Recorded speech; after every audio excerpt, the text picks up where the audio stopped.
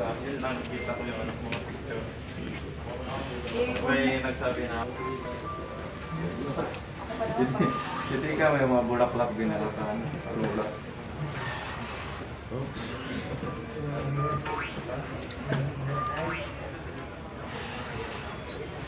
Thank oh. you.